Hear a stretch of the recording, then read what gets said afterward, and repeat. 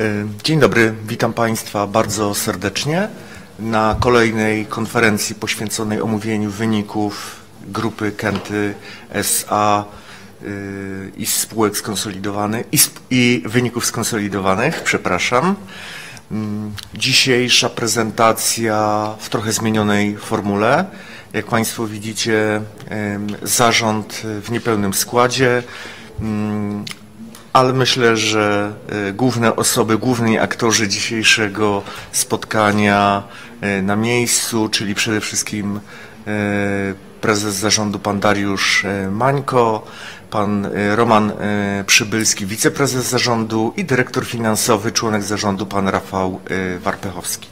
Po części prezentacyjnej, jak zawsze odpowiemy na Państwa pytania, a prezentację otworzy pan e, Dariusz Mańko. Proszę bardzo, panie prezesie. Dzień dobry, witam serdecznie. Przepraszam, jeszcze raz zacznę. Dzień dobry, witam serdecznie Państwa na spotkaniu dotyczącym omówienia wyników pierwszego kwartału, e, skonsolidowanych wyników grupy kapitałowej Kenty. E, Tak jak Michał wspomniał, jesteśmy w innym gronie. E, Rozłamów w tej kwestii w zarządzie nie ma, ale stół był za krótki, nas tutaj się chyba tyle osób, siedem osób nie zmieściło. Oczywiście żartuję. Proszę Państwa, zmieniliśmy tę formułę, dlatego y, z jakiego względu? No raz, że jest nas więcej w zarządzie. Y, Druga sprawa jest taka, że jeżeli nie dzieją się rzeczy jakieś wyjątkowe, istotne y, w obszarze któregoś z segmentów, to nie będziemy mm, Panów do, na takie konferencje dopraszać. Postaramy się w węższym gronie przedstawić Państwu wyniki i odpowiedzieć na wszystkie pytania. Oczywiście pytania szczegółowe również mogą się pojawić. Jeśli my nie będziemy potrafili na nie y, odpowiedzieć, to odpowiemy drogą pisemną.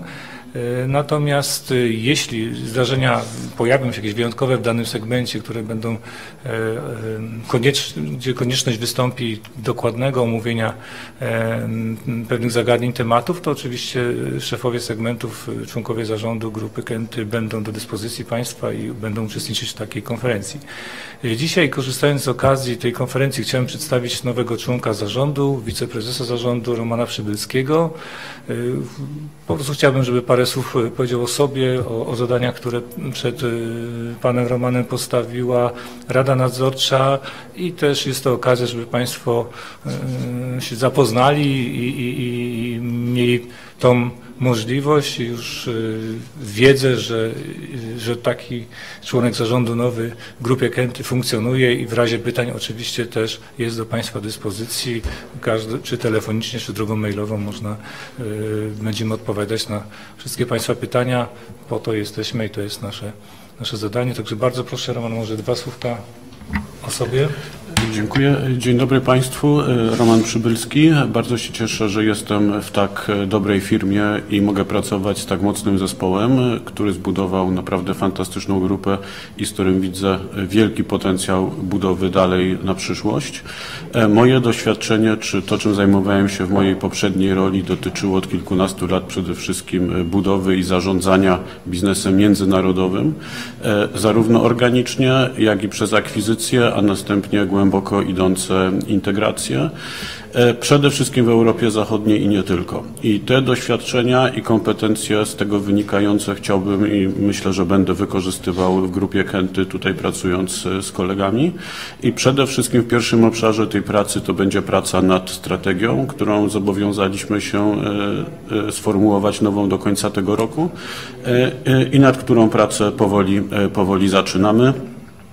Z innych zadań, które dostałem i którymi już w tym momencie się zajmuję, również wynikającymi z tych moich doświadczeń i historii, jest e, przyglądnięcie się e, całej strukturze i procesom sprzedażowym w ramach grupy w kierunku poszukiwania optymalizacji, synergii oraz początku właśnie budowania planów ich rozbudowy i rozwoju na przyszłość, co będzie jeszcze raz e, częścią wspomnianej już strategii. E, Także jeszcze raz bardzo się cieszę, miło mi Państwa poznać i tak jak Pan Prezes powiedział, jestem do dyspozycji e, i po konferencji w ramach Q&A'ów, ale również mailowo czy telefonicznie w dowolnym momencie. Dziękuję. Bardzo dziękuję. Proszę Państwa, e, przejdźmy do e, do wyników kwartału pierwszego 2024 roku i, i co jest wyszczególnione na, na, na czerwono i na, jako pierwsze zapisane, no to jest rzeczywiście słaba koniunktura. No o tym nie muszę nikomu mówić. Państwo śledzą inne spółki i interesują się giełdą, biznesem, tym co się dzieje e, wokół. No niestety koniunktura jest słaba. Ona dotyka całej Europy, no i również e, widzimy tą słabość tej koniunktury w Polsce i z tym musimy się zmierzyć.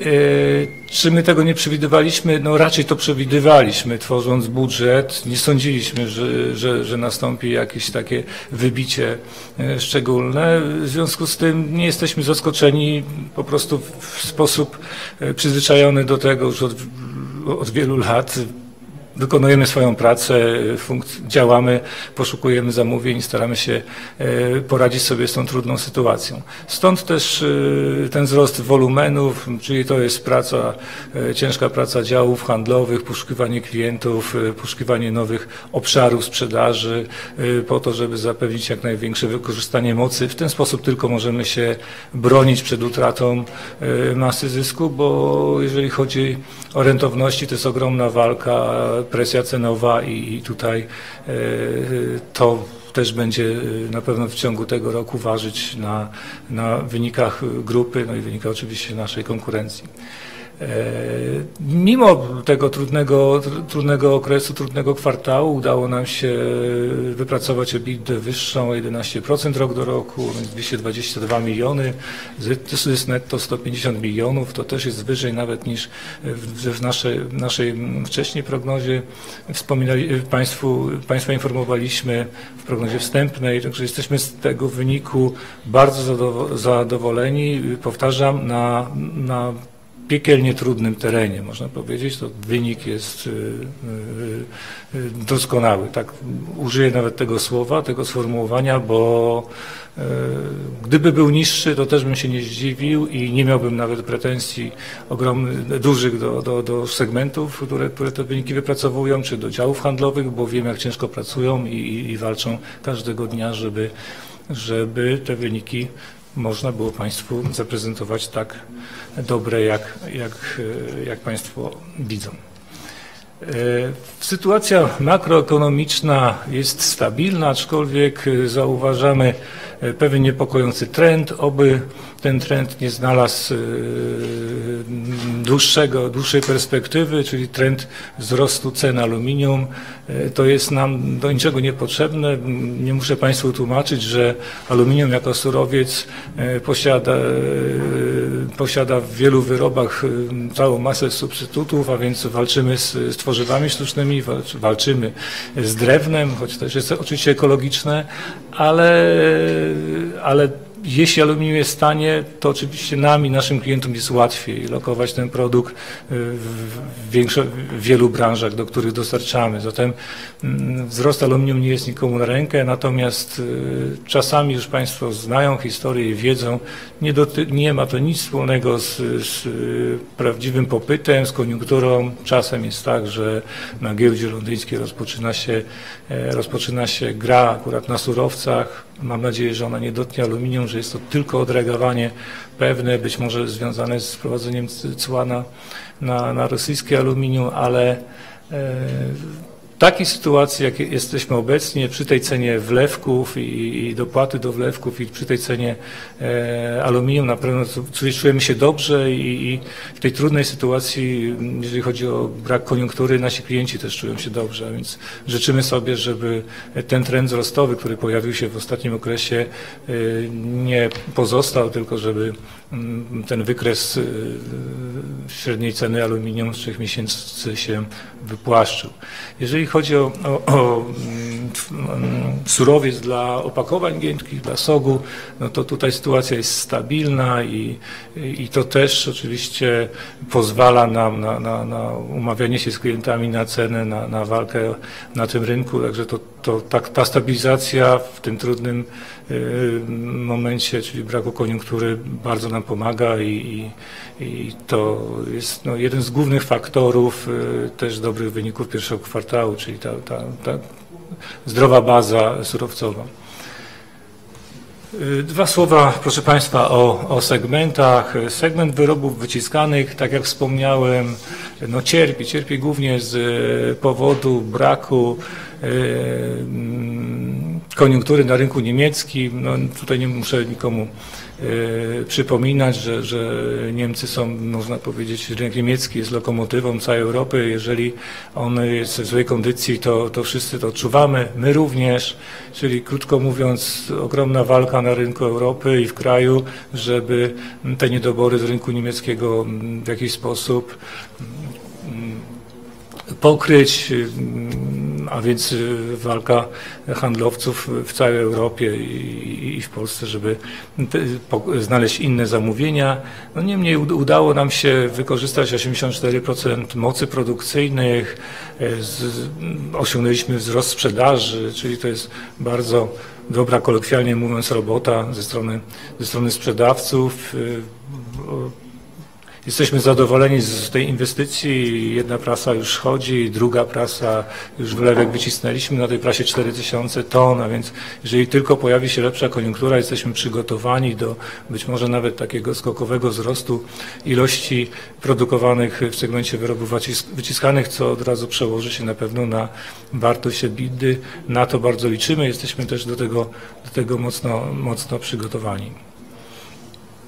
W przypadku segmentu systemów aluminiowych tutaj również y, rynek niemiecki, niestety rynek Wielkiej Brytanii nas nie rozpieszczają, y, ale ta sytuacja pierwszego kwartału i słabość tych rynków Europy Zachodniej nałożyła się jednocześnie już z takim taką dojrzałą pozycją naszą w obszarze y, mniejszych y, budynków, y, budynków powiedzmy nawet jednorodzinnych.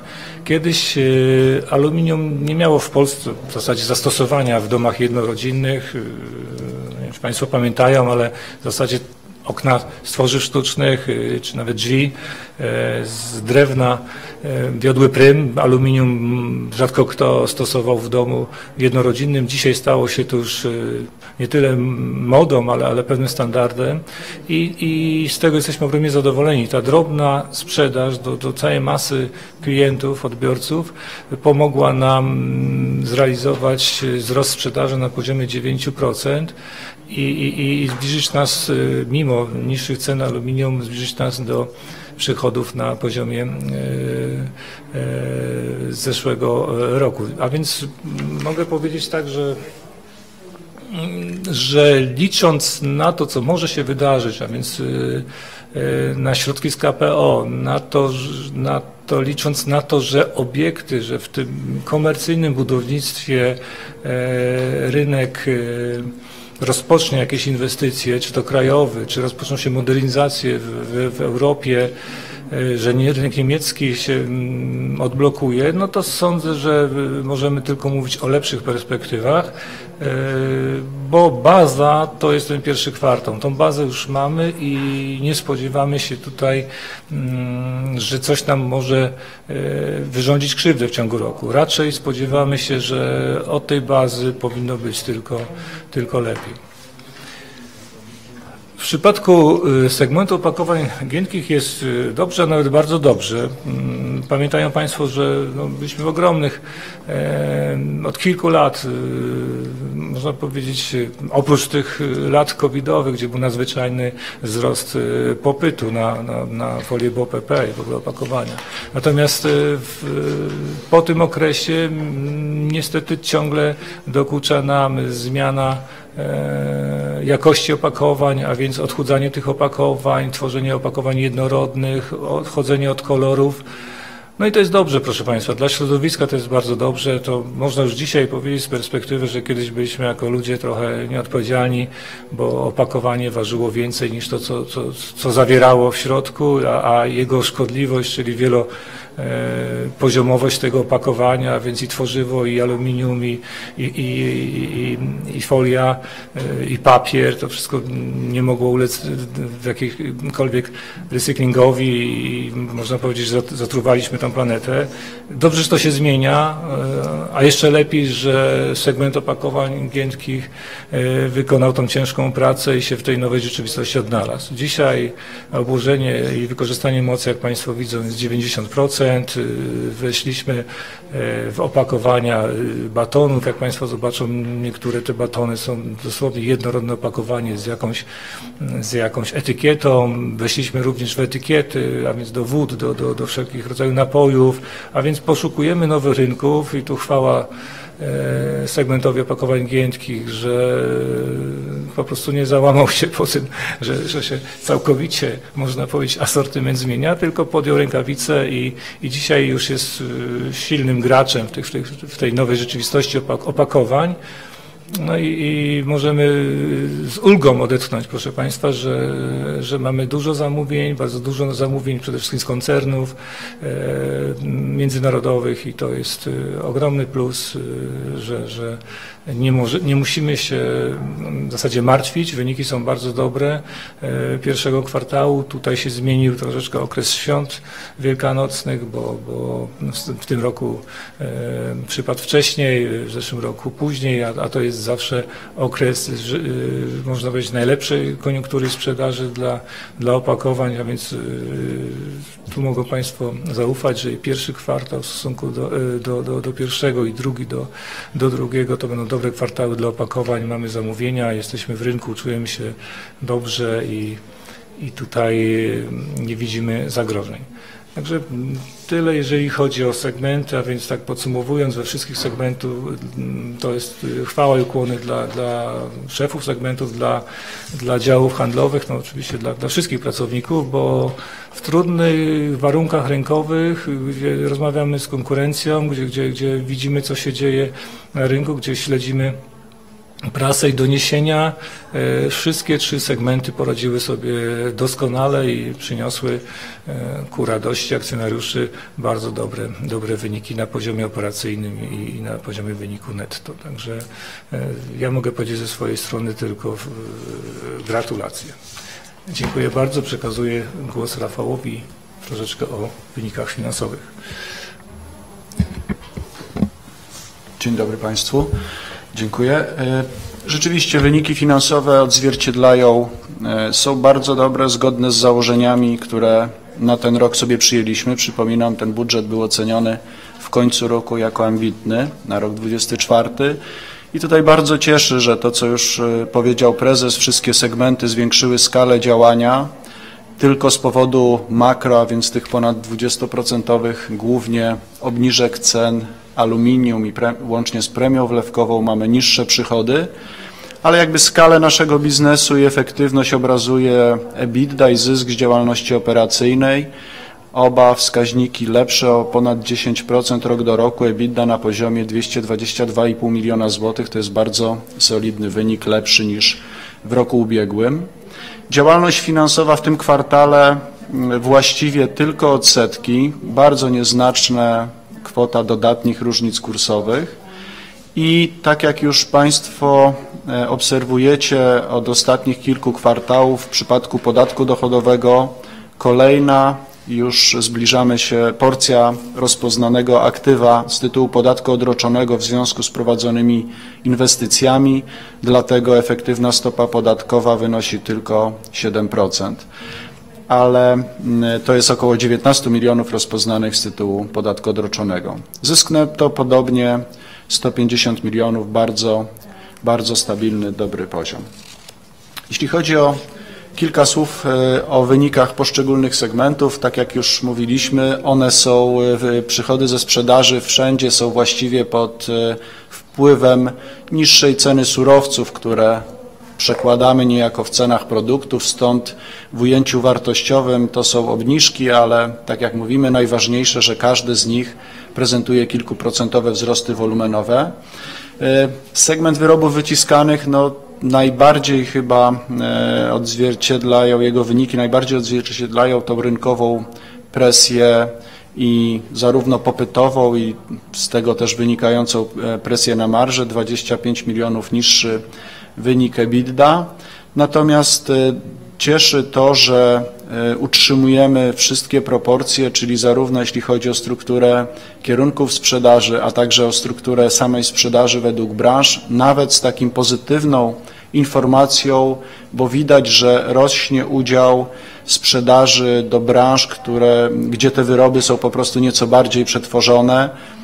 To cieszy, to jest element, który pozwala bronić naszej EBITDA.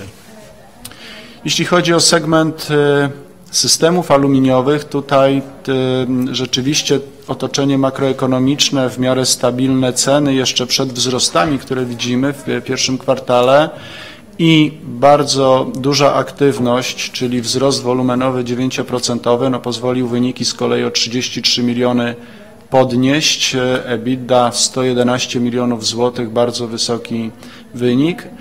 I zasługuje też na uwagę, że udało się tą e, zmianę struktury, czyli obniżenie przychodów w eksporcie pokryć działaniami w kraju i łączne, łącznie te przychody są w ujęciu wartościowym na porównywalnym poziomie. Jeśli chodzi o segment opakowań giętkich, to tak jak mówiliśmy, solidny, stabilny, powtarzalny wynik, mimo że operacyjnie to był nieco trudniejszy kwartał, bo bo tak jak prezes wspomniał, nieco krótszy z naszej perspektywy, też warto powiedzieć, nieznaczne zmiany, praktycznie stabilnie można powiedzieć, jeśli chodzi o strukturę, strukturę sprzedażową według branż i także jeśli chodzi o strukturę kraj-eksport, więc jesteśmy bardzo zadowoleni. Segment pracuje z wysokim wykorzystaniem mocy produkcyjnych, około 90%, więc to, to jest bardzo pozytywna dla nas e, informacja i generowanie silnych strumieni gotówki. Kilka słów o inwestycjach. E, wydaliśmy 99 milionów złotych w pierwszym kwartale. E, tutaj warto też powiedzieć, same nakłady w tym kwartale wyniosły około 55 milionów, więc można powiedzieć 44 miliony pozostałe to jest głównie zmniejszenie zobowiązań inwestycyjnych z końca roku ubiegłego, więc niejako zapłata za nakłady z roku 2023. Główne projekty do końca tego pierwszego półrocza to będą nadal inwestycje organiczne, rozwojowe, istotnie zwiększające siłę naszego działania w obszarze e, w dwóch sektorach związanych z aluminium. E, I Przypomnijmy, to są inwestycje, które w drugiej turze druga prasa dołoży nawet do 15% dodatkowych mocy. Nasze moce powinny wynosić około 125 tysięcy ton w skali roku, a stanie się to już y, od lipca tego roku. I podobnie w przypadku segmentu systemów aluminiowych inwestycja w Złotowie teraz właściwie wyposażana, uruchomiona w drugim kwartale również od początku trzeciego powinna być e, dostępna. W przypadku SOG-u, e, jak Państwo pamiętacie, prognozy roczne to jest kilkunastu milionowy capex e, i pewnie w tym roku, jeśli nie, nie będziemy pewnie tych kwot przekraczać, ale dobra informacja dostaliśmy, mamy w planach rozwój mocy w obszarze opakowaniowym, chcemy na to wydać około 30 milionów złotych w perspektywie dwóch lat i, i bardzo pozytywna decyzja z ostatnich dni, bo będziemy mogli tą inwestycję prowadzić z ulgami inwestycyjnymi sięgającymi 50% e, podniesionych wydatków.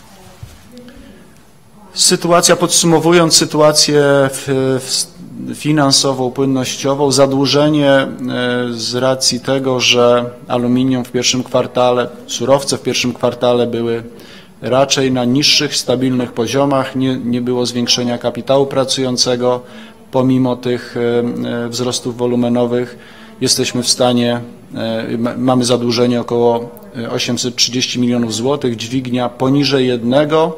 W kwartale także udało się przedłużyć jedną, odnowić i wydłużyć termin zapadalności jednej z istotnych umów mm, z, z, na kredyty bankowe, w związku z czym znów nasza struktura terminowa kredytów to 75% zadłużenie długoterminowe.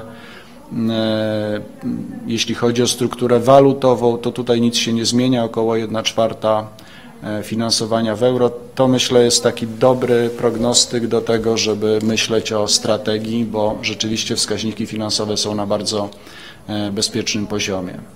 Sama zmiana długu, jak widzimy, no głównie obniżenie w kwartale względem końca roku wynika z, z dużego wyniku mm, EBITDA, który w połowie sfinansował naszą działalność inwestycyjną, ale i, i, w około 100 milionach złotych pozostała część posłużyła do spłaty naszego zadłużenia. Jeśli chodzi o część finansową, e, dwa słowa może oddam głos. Proszę Państwa, zatem w trudnym otoczeniu rynkowym spodziewamy się, że y, zrealizujemy założenia budżetu y, tegorocznego i, i, i mimo, że spodziewamy się wzrostu, nie, niewielkiego wzrostu, mam nadzieję, cen aluminium, ale że nie dojdzie do jakiejś eskalacji tych cen i będziemy mogli pracować y, w sposób tak wytrwały jak w tym pierwszym kwartale i, i tę, tą prognozę zrealizujemy. Jeżeli chodzi o inwestycje, praktycznie je zamykamy, zamkniemy złotów, zam, praca już mam w drugim kwartale, będę pracować 4 tysiące, a więc, a więc tak naprawdę pozostaje nam skupić się na tej pracy codziennej. Jeśli chodzi o inwestycje, które przed nami, ewentualnie inwestycje w obszarze operacyjnym, to nie jest już dla nas wyzwanie. To jest tak y, doświadczona kadra, że, że można powiedzieć y, inwestycje w obszarze operacyjnym traktujemy jak y, chleb i pracę codzienną, chleb codzienny, tutaj się nic nie, to, to nie są dla nas wyzwania. Mało tego, te inwestycje w obszarze operacyjnym, one też nie popchną spółki w jakiś nowy obszar i, i nie stworzymy w ten sposób dużej grupy aluminiowej, a, a, a takie mamy wizje i ambicje. Zatem e, z pewnością czekają nas e, e, w strategii, przy budowie strategii rozważania na temat akwizycji i rozwoju poprzez, poprzez przejęcia. Znają nas Państwo i, i wiedzą, że, że ja swoją osobą i myślę cały zarząd gwarantujemy pewność tego, co robimy i nie pozwolilibyśmy sobie na pewno na to, żeby w jakiś sposób naiwny rozpocząć jakieś inwestycje kapitałowe, szczególnie za granicą, to nie może być tak, że mamy milion przykładów z polskiego rynku, gdzie polskie firmy podjęły się akwizycji za granicą i, i te akwizycje były nieudane, czyli troszeczkę to nie, nie, nie będziemy na pewno działać troszkę na zasadzie małego dziecka, które jedno się poparzyło, drugie, a to trzecie jednak też musi dotknąć. Stąd też jest z nami e, pan Roman Przybylski. Dopóki, po to, żebyśmy zbudowali zespół, bo nie samo przejęcie, jak Państwo wiedzą, jest ważne, a potem integracja i cała praca związana z, z wchłonięciem takiej spółki do struktur i, i zbudowaniu całej kultury organizacyjnej i postrzegania podejścia do biznesu tożsamego z tym, co, które, które widzimy dzisiaj w grupie Kenty. Jeśli tego zespołu nie będziemy mieli, takiej pewności na 100% nie będziemy mieli, to na pewno nie, nie, nie odważymy się na żaden taki krok. Stąd, ale oczywiście, żeby spółka się rozwijała, musimy się odważyć, musimy iść do przodu. w związku z tym yy, wzmocniliśmy się, aby, aby móc taką strategię zbudować i zaproponować Państwu przygodę na kolejne trzy szczegółowie, ja może, a pięć już mniej szczegółowo, na kolejne mm, trzy lata czy pięć lat przygody z grupą Kenty, yy, która na pewno mm, zwiększy wartość grupy kapitałowej, zwiększy wartość akcji, które Państwo posiadają, kontrolują. Myślę, że zapewni również yy, politykę stabilną w zakresie wypłaty dywidendy. Nad tym oczywiście będziemy pracować, rozważać to w przyszłym tygodniu. Będziemy rekomendować dywidendę.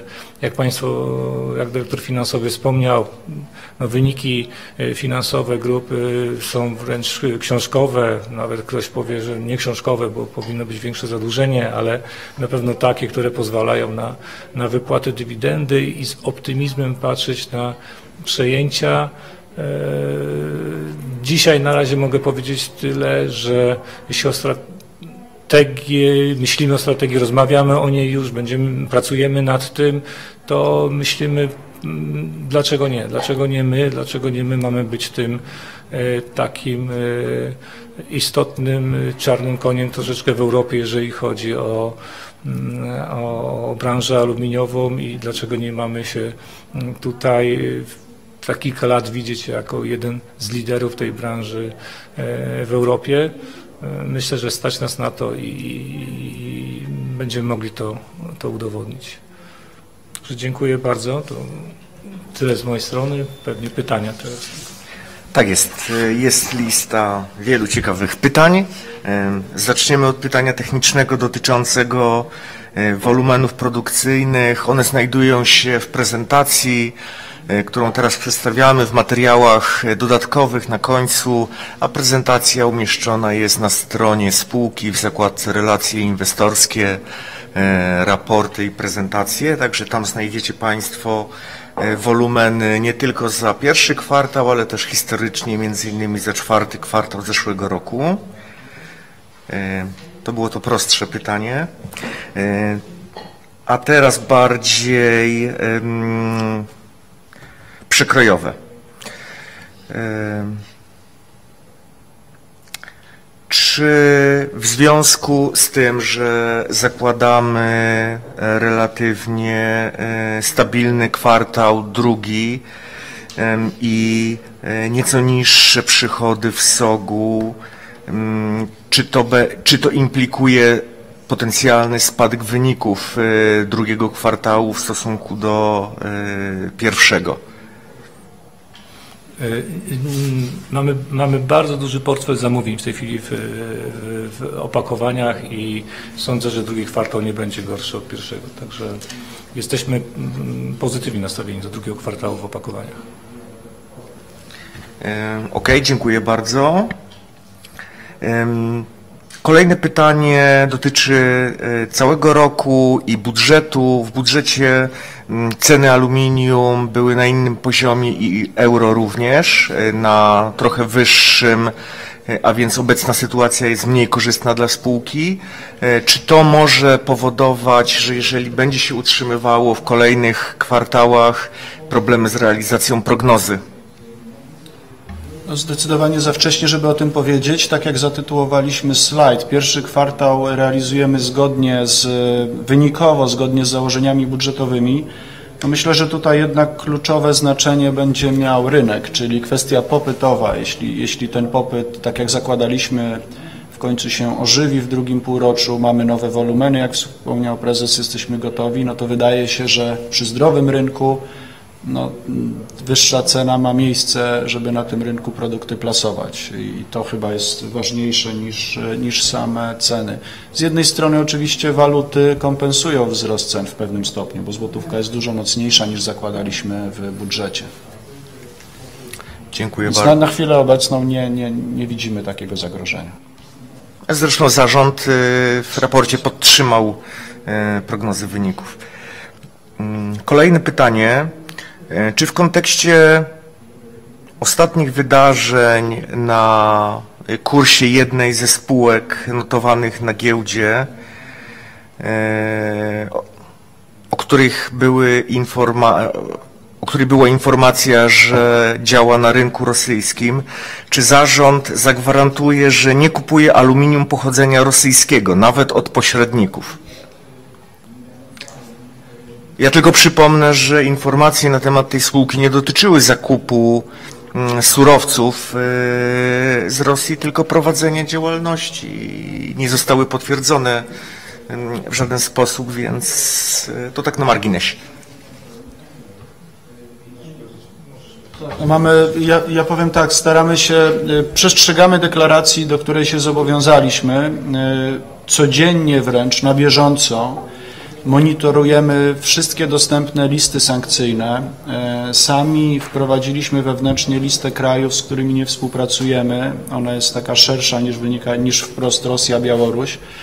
Więc wydaje nam się, że dokładamy wszelkich starań, żeby i pozyskujemy zapewnienia, że taka sytuacja nie ma miejsca. To jest nie tylko Rosja, Białoruś, jest jeszcze kilka innych krajów. Naprawdę mamy to, to jest rozwiązanie wręcz onarzędziowane i, i na co dzień taką kontrolę wykonujemy.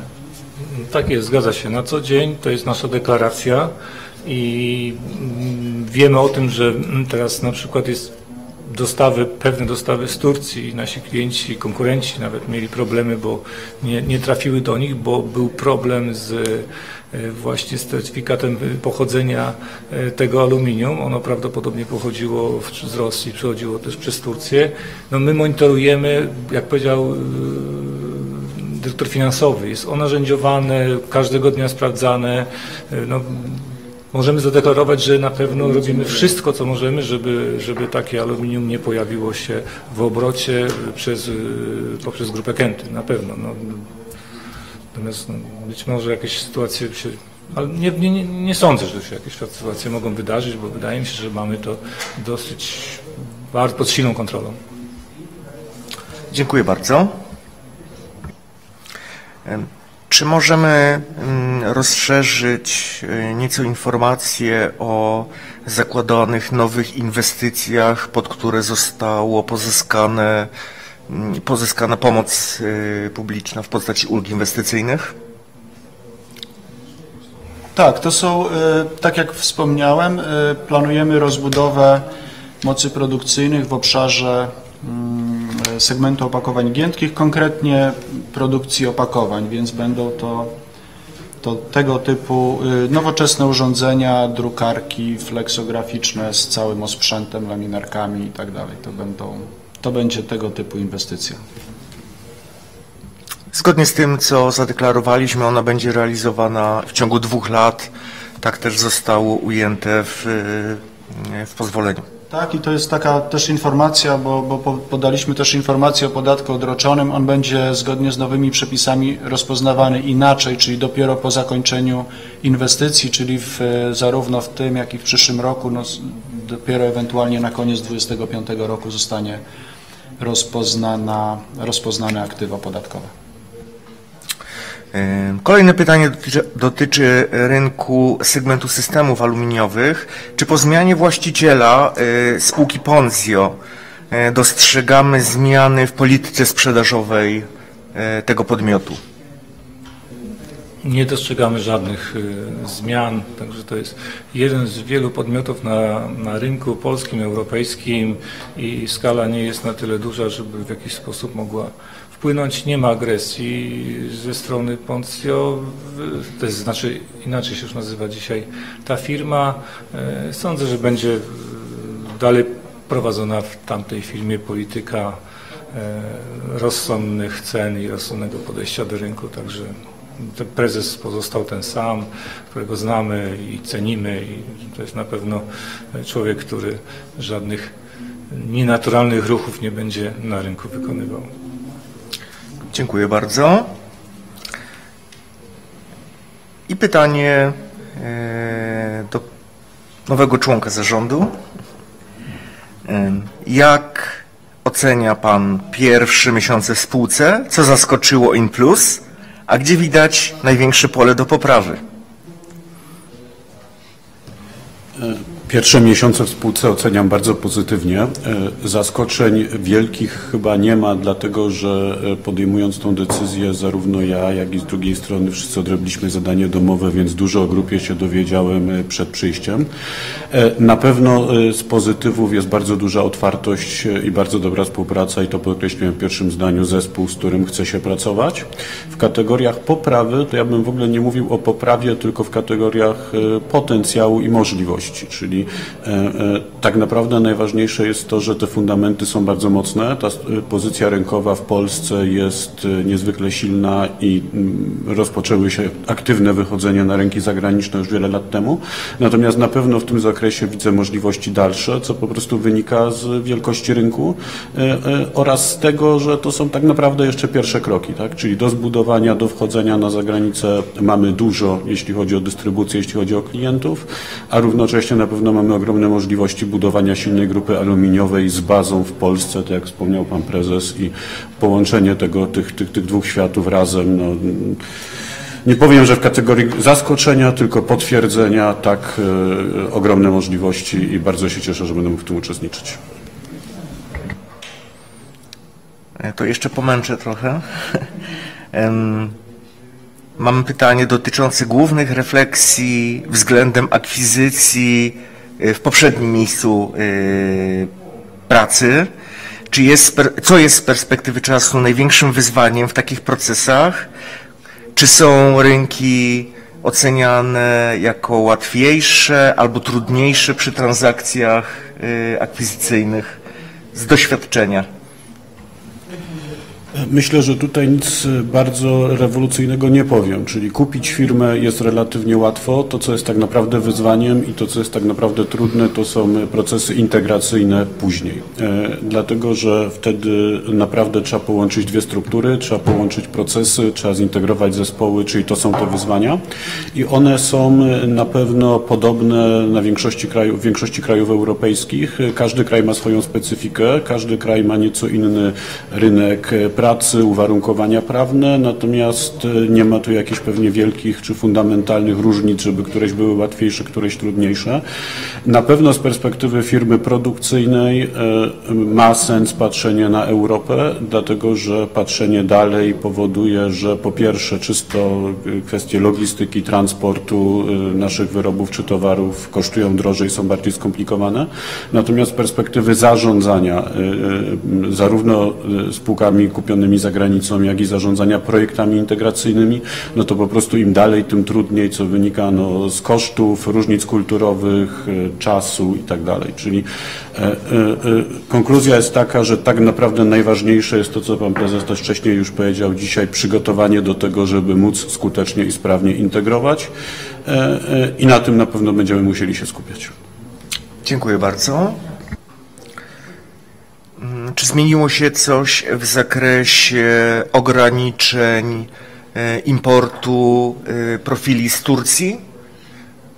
Segment wyrobów wyciskanych podejmował w tym zakresie działania, nawet na szczeblu e, ogólnoeuropejskim Stowarzyszenia Producentów Aluminium.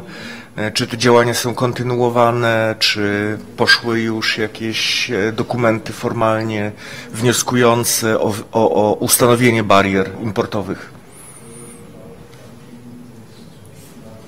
Ostatnia sytuacja e, powodowała, że ta premia, o której mówiliśmy, którą, którą tureckie firmy miały, ona się przy ten potencjał na, na, na, na premię, którą dysponowali, malał w sytuacji no, znacznie niższej premii wlewkowej między innymi, która była do, do aluminium. Więc e, no, ostatnia, z, z ostatniego czasu e, ocena nasza była taka, że ta sytuacja rynkowo już nie jest dla nas aż tak bolesna, jak e, jeszcze myśleliśmy rok temu. I o ile wiem, to nie, nie doszło do przez to stowarzyszenie do złożenia, do, do złożenia dokumentów, y, gdyż po prostu skala, skala już teraz nie ma, nie ma aż takiego dla nas znaczenia. E, dziękuję bardzo.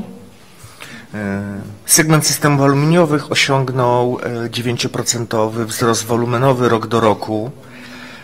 I czy w kontekście płaskiej sprzedaży segmentu wyrobów wyciskanych do segmentu systemów aluminiowych w pierwszym kwartale. Czy to może oznaczać, że segment systemów aluminiowych wyhamowuje sprzedaż ilościową i w drugim kwartale będzie płasko, ponieważ nie, nie zaopatruje się w skali adekwatnej do ewentualnego wzrostu?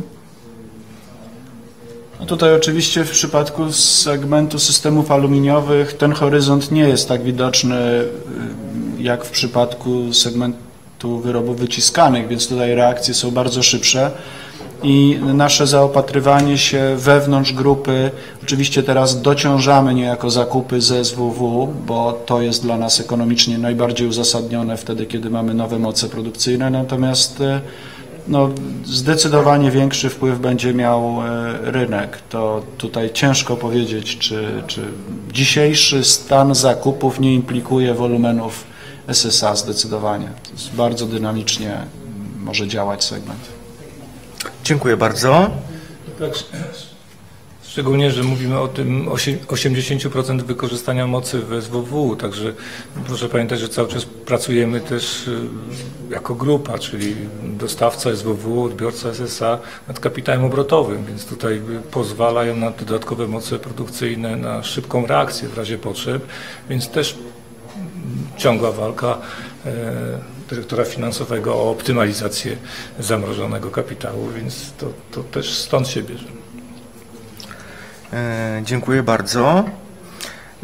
Jak w chwili obecnej wi- widzimy obłożenie pierwszej prasy, która została uruchomiona w zeszłym roku w ramach nowego kompleksu? Jak e, zakładam, jaki poziom obłożenia zakładamy dla drugiej prasy na drugą połowę roku?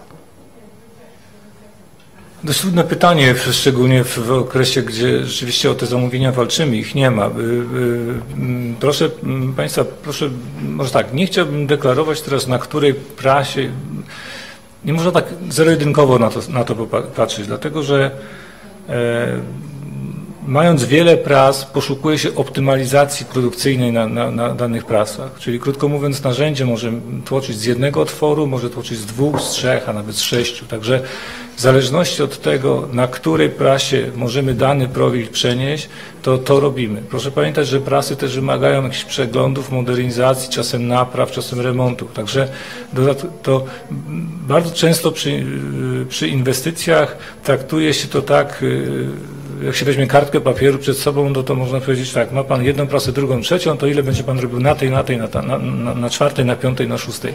To tak nie działa. Prasy wszystkie to jest kompleks pras, jest, y, są technolodzy, jest szef produkcji, jest utrzymanie ruchu i wszyscy, wszyscy ci panowie próbują optymalnie obłożyć te prasy. Co znaczy optymalnie? To znaczy, żeby produkować na tej prasie, gdzie jest największy uzysk, gdzie jest największa prędkość tego wyciskania, gdzie krótko mówiąc na jednostce wyciśniętego kilograma zarabia się najwięcej. A więc to żonglowanie i przenoszenie teraz będzie się odbywać e, przez na pewno cały ten rok i dopasowywanie optymalizacji po prostu wykorzystania tych pras. Także bardzo mi jest trudno powiedzieć dzisiaj, na jakim poziomie te prasy nowe będą wykorzystane. Oczywistym jest, że nowe prasy mają troszeczkę lepszą technologię, one potrafią więcej, szybciej wycisnąć, a więc kosztem pras starszych będą obkładane, będą obkładane do końca roku te, te prasy, prasy nowe, ale nie chciałbym deklarować yy, procenta, bo myślę, że nawet nie zadeklarowałby dzisiaj szef produkcji, który się nad tym głowi każdego dnia. Dziękuję bardzo. Jeżeli mówimy o inwestycjach w segmencie systemów aluminiowych, yy, otwarcie nowego zakładu, jaki potencjał yy, sprzedażowy daje nam otwarcie tego zakładu i jak wi- widzimy perspektywy ponownie obłożenia yy, sprzedażą tych nowych mocy? No pewnie standardowo, oczywiście bardzo zależy od rynku, ale standardowo liczyliśmy, że zwiększamy moce w obszarze aluminium o jedną czwartą. To, to. I systemów i SWW, bo to mniej więcej się o tyle pokrywało. I to było nasze myślenie, które pozwalało nam e, zapotrzebowanie rynkowe na mniej więcej kolejne 3 lata pokryć. Tak się to, tak to planowaliśmy w strategii. W tym konkretnym przypadku też szacujemy, że jest to około 1 czwarta e, segmentu systemów aluminiowych, ale oczywiście obszaru e,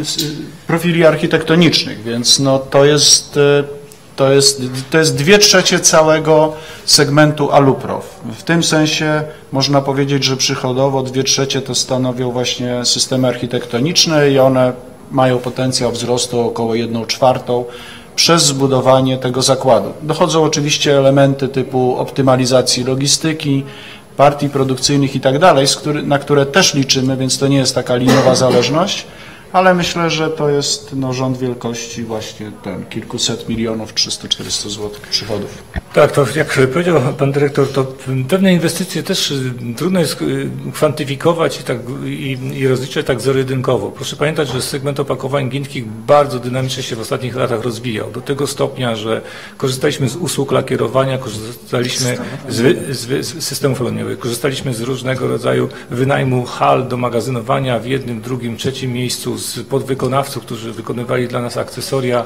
elementy. Tam w Złotowie y, będziemy wykonujemy i będziemy wykonywać bardzo dużo akcesorii, które, które towarzyszą sprzedaży systemów aluminiowych. Będziemy lakierować. Y, Mamy tam bazę, tak jak wspomniał Pan Dyrektor, na, na jedną czwartą rozwoju, y, gdzie można mówić o o zgodnej, przyzwoitej, prawidłowej logistyce i zabezpieczeniu mocy właśnie produkcji tych akcesoriów i lakierni. To, to jest niezbędny element żeby mówić o strategii e, ekspansji, o których będziemy Państwa informować do końca roku, musieliśmy taką bazę przygotować, a nie e, po prostu być w jakiś sposób logistycznie rozbici. No nie muszę o tym też pewnie wspominać, że mając już przyzwoitą bazę logistyczną, zapewnienie swoich mocy w lakierni, możemy reagować szybciej, możemy obsługiwać y, sprawniej rynek. No, jeśli się tego nie robi, to trzeba zapomnieć jakiekolwiek rozwoju. Dziękuję bardzo. Szanowni Państwo, jak ja tylko mogę dodać od siebie tutaj do tego punktu, y, to to, że jak Państwo widzą, mimo naprawdę słabej koniunktury na rynku, y, przede wszystkim w budowlance i to nie tylko w Polsce, ale w całej Europie Zachodniej, y, segment ma naprawdę świetne wyniki. I inwestycja jest przewidziana rozwojowo i ja nie widzę w ogóle wątpliwości co do, co do wypełnienia tych mocy w kategoriach 3, tylko kiedy. A to będzie zależało od tego, jak szybko ta koniunktura ruszy, no bo od tej bazy koniunktury, y, która jest dzisiaj, no na pewno będzie lepiej, tak? Pytanie jak szybko.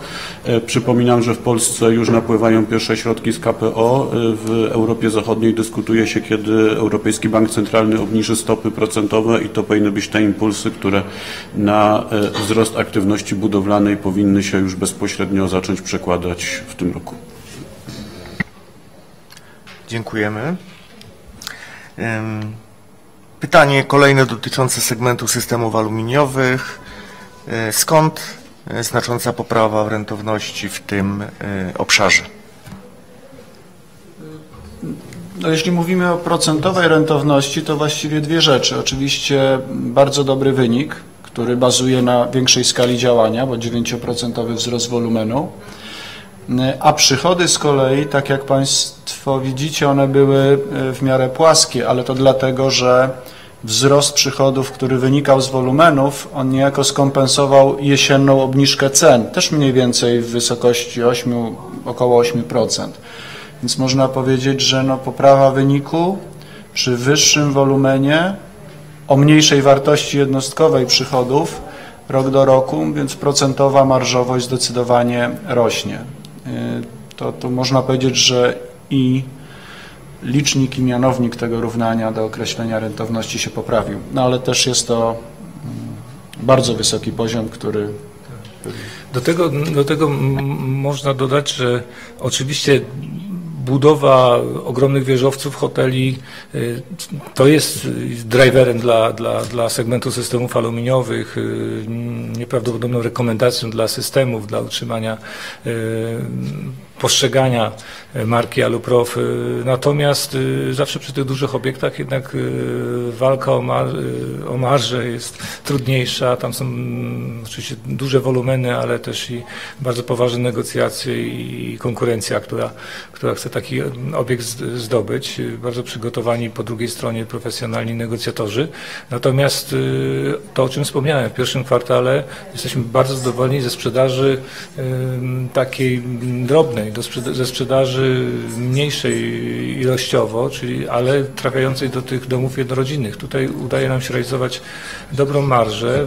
Oczywiście więcej musimy się napracować, bo obsłużyć każde zlecenie jest niemal to samo, czy sprzedaje się e, tonę, czy sprzedaje się 10 ton, ale w tej drobnicy e, odnajdujemy dobrą marżę i cieszymy się, że na tym rynku jesteśmy. To, co Państwo obserwują od strony e, Aluprofu, czyli, czyli cały czas nakłanianie klientów do tego, żeby te domy były eko, że jesteśmy współtwórcą tej, tej idei oszczędzania energii poprzez swoje produkty, to trafia do klientów i lokujemy z dużym powodzeniem nasze drzwi, okna w domach jednorodzinnych. To jest na pewno już zauważalna i bardzo ciekawa skala i, i Państwo widzą to również na poziomie marży.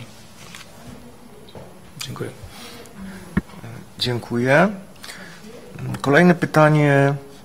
Czy widzimy jakieś postępy w y, akwizycjach?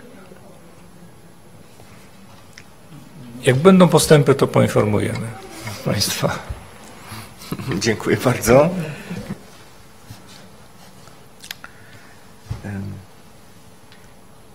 Ostatnie pytanie, które na razie widzę na liście.